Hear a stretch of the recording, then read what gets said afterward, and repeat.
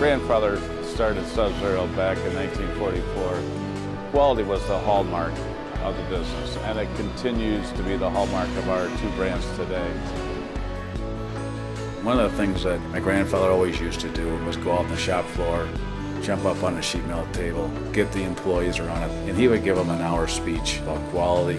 And when my dad designed the first built-in refrigerator in 1954, it was always about quality. And that was something that I always remembered, and what it meant to build a quality product.